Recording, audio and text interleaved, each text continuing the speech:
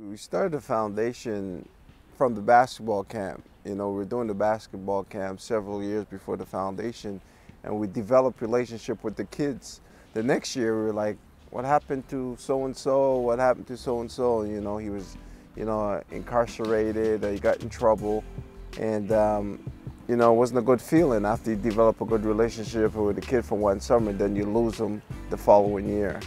The evolution of the camp over even the last, you know, 25 years when I think about it that I've been involved, that's something I'm so proud of to see the growth that yes, it started out as a basketball camp and it's unbelievable because the basketball camp is still going strong like 30 some odd years later.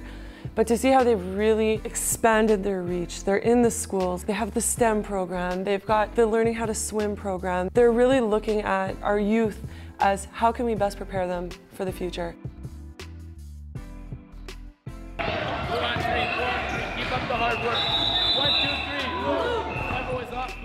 It's extremely important for the foundation to help kids in the community holistically through um, mental health, through education, through sports, and also um, um, physical physical health. You know that's extremely important to the foundation.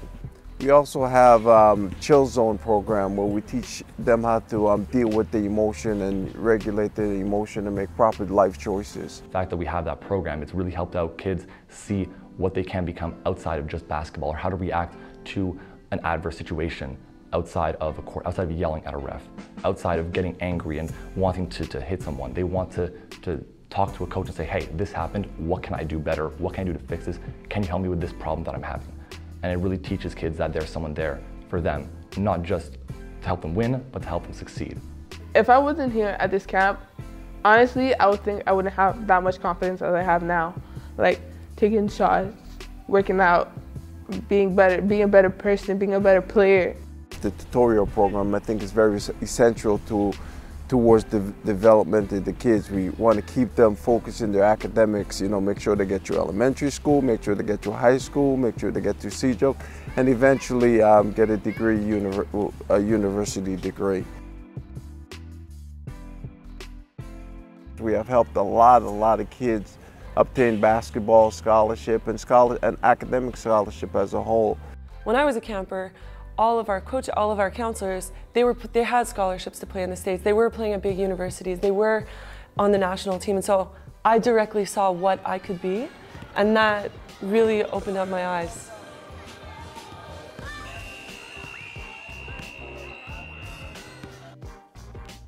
You know, just looking back and you see the young men and young ladies evolving in their lives and moving on.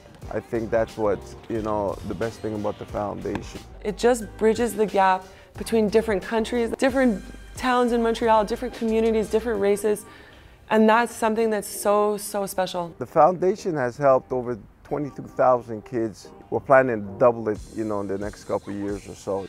Without your participation, without your help, the foundation won't be in the place where it's at today to attend our fundraiser. Tell your neighbors, tell your cousin, pick up the phone, go to the website, go to twkf.com, see all the information and all the programs that we offer.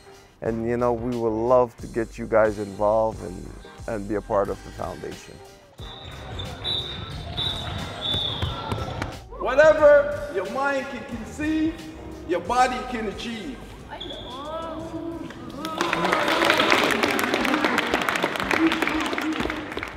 I think it's crucial for people to donate, not only the people that have come through to give back, but donate your time, donate your energy, donate your expertise, whatever that is. Volunteer, donate, help somebody that wasn't able to financially do it.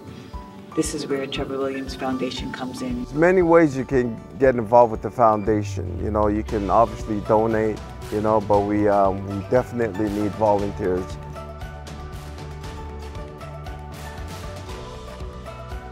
One of the biggest life lessons I've learned here is that everyone has something to give. Everyone's valuable, everyone is great at something, and if you can just share that gift, you're gonna connect with others and you're just gonna make, you know, as cliche as it sounds, you're gonna make the world a better place. And this foundation is somewhere that encourages that, that embraces it, and wants to, you know, help all our young people shine.